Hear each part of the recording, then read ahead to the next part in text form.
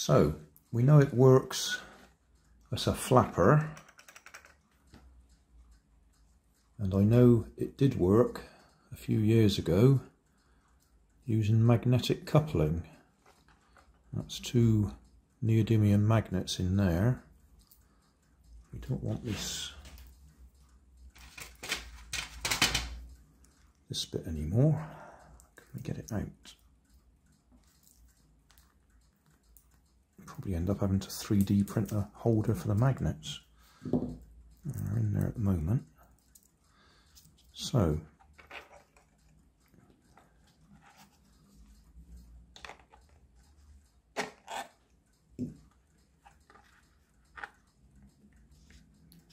got hair around it.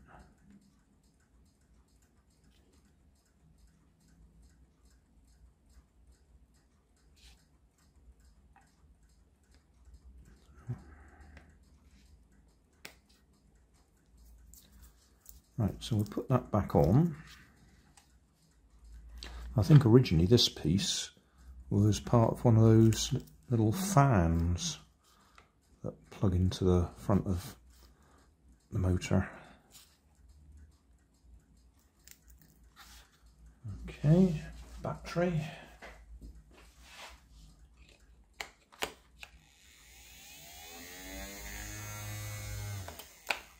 Right. Now I think this one might be a better option because it's going to be higher. Now I can just put a magnet on the end of there. Now on the video that I watched, I'd actually used a rubber band to centre it. I don't know if I needed to do that. In the open air, that can swing right round. But when that's in the water, if it's going forwards, that's going to tend to straighten it up anyway. Need a magnet to go on there of some sort. I've got a whole load of these little magnets, little neodymium magnets, bought for a project that I never actually did in the end. So I think I'm going to have to glue them on there.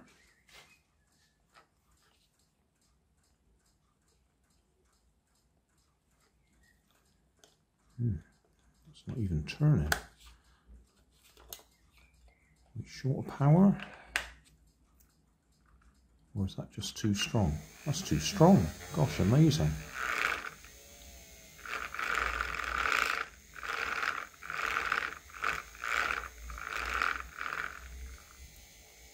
I also think I probably need to mount them that way up. Gosh, that is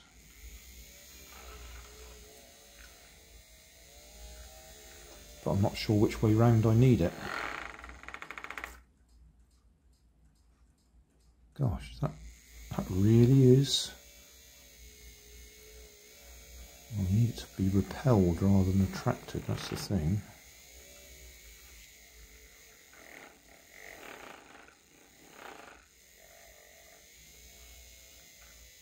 There's suddenly a little bit more complication to this than I was hoping. Right, I'm going to play with that for a few minutes. We'll come back later when I've decided what I'm going to do. As you can see, I've put the other rudder back on there.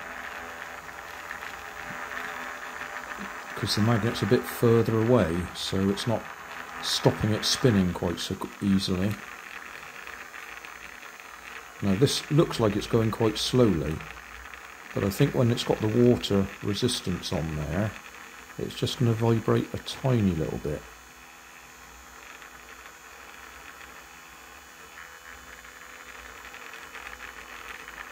Thing to do is go and put it in the bath and see what happens.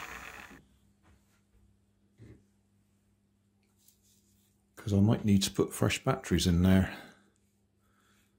We'll see.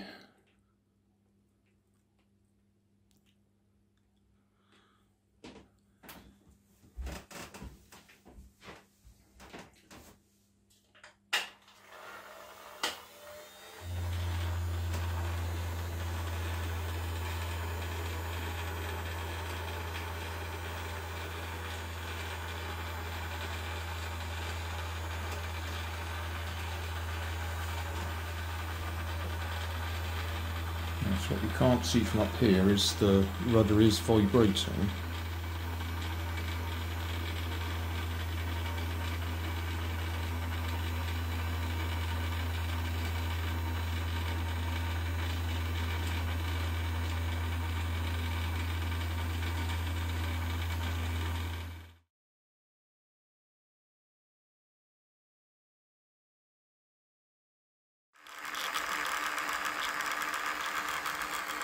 Well, I'm not sure.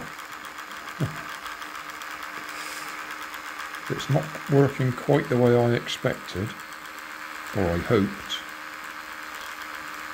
The tension is very um, difficult to get right.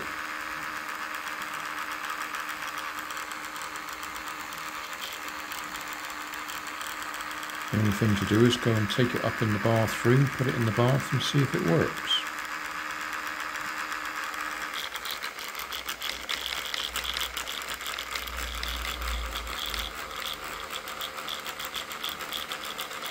So turn it off.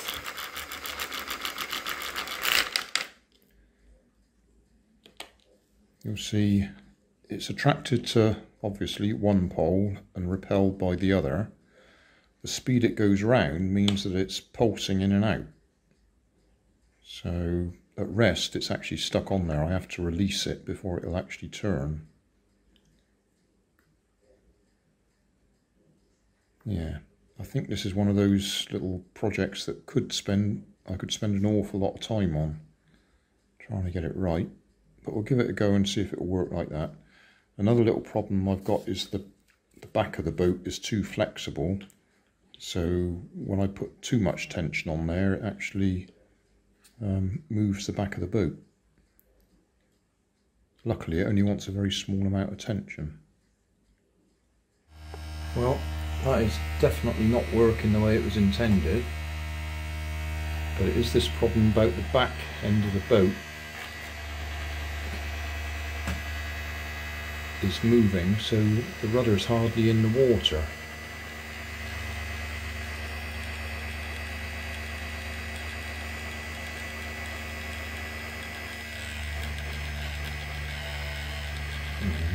Supposed to be down further like that. I wonder if I could put a weight on it to hold it down.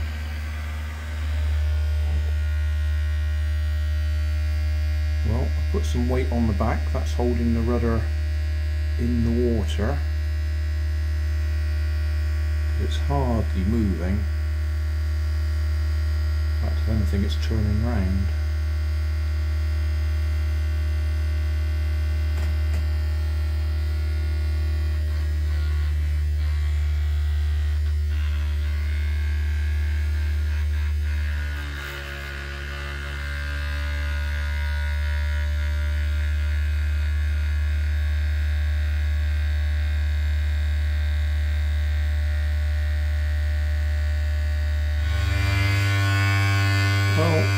Some sort of forward motion.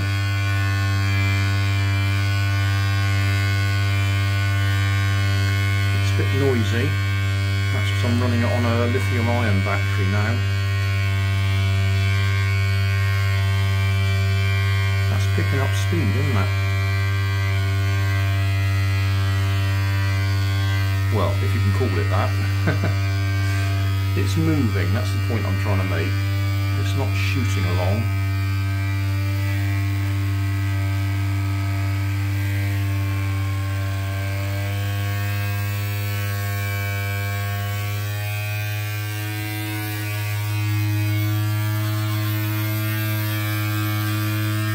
We've got is the magnet is repelling it and the rubber band's pulling it back so it's doing that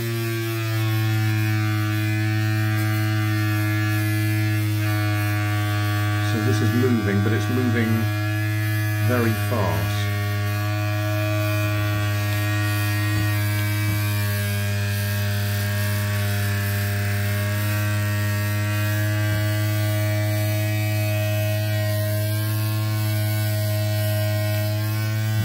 that tension just right, otherwise it goes round in circles from the looks of it.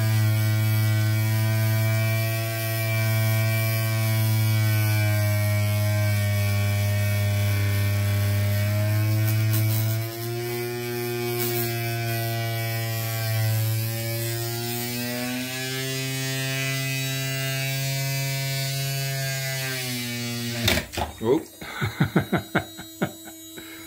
oh well, you saw it here. oh, I think that's actually come loose. Oh, I see why it's come loose as well. Because I'm running it on the lithium ion battery.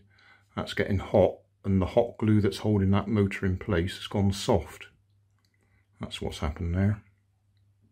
Yes, that motor's quite hot now. So I was pushing it a bit. And it wants to tilt over now because all that weight's pulling on it. Okay, well, do we class that as a success? Not really. Well, it was moving forwards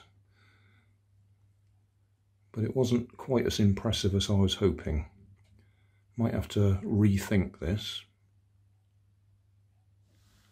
Well, summary time now. I would say that was a failure, surprisingly enough, but it has given me a few ideas.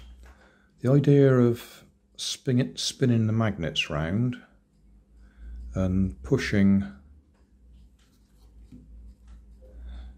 that out the way sort of works, but I think rather than trying to use a rubber band or a spring to return it, if I make that a U-shaped yoke and have a magnet on the other side, then that's going to push it that way and then that way. And then the problem I was getting was it was actually hitting this. Well, that fix is quite easy. All we need is a a post either side there so that that cannot actually hit that. I don't know if I'm explaining it well enough. But where that goes on there, we'd need a couple of pillars either side to stop that being able to actually get all the way over. Yeah, probably not explaining it. I think what I'm saying is I've got an idea. so we might have another go at this. Need to do a few changes. Quite a few changes. Thanks for watching. If you want more information, check down below in the video description. If you like this video, you might like this one up here. And if you want to subscribe, you can check out my channel over here. Up here is my latest video on my channel and down here is a video playlist associated with the video you've just watched. Thanks again for watching.